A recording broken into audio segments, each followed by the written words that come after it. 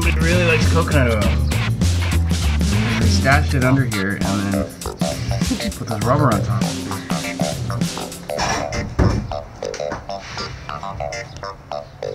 How you doing, Tyler? Alright. Yeah?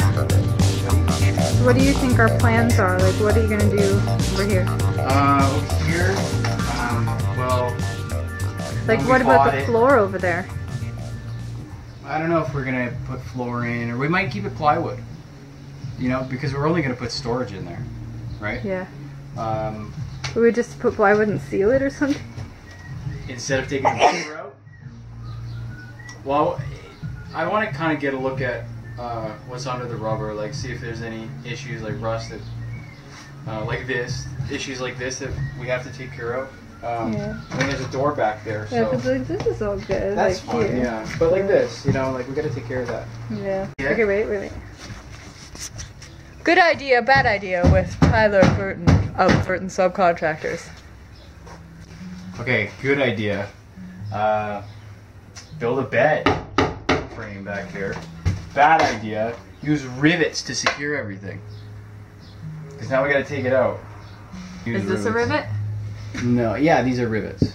And They're- so, like, you can't take them out? Yeah, No, there's a right? Like- screwdriver. No, it's kind of a permanent solution. Look, look at this. All rivets. Which could have been just screws. Screwed, yeah. Especially this. You know, I get like riveting it to the, the tin at the top. That's fine. Maybe He was just excited for a rivet gun. Maybe he was excited for his new rivet gun, yeah. All right. Who knows? Maybe we'd be just as excited. Oh, After you did a few rivets, I'm sure it would wear off. Go. go.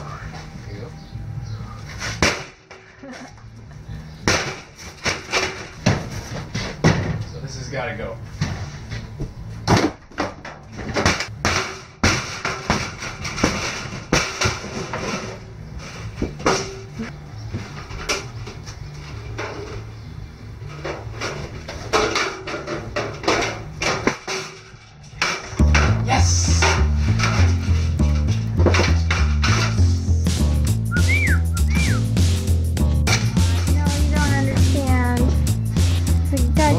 On the No, no, no, gum. no, don't do it.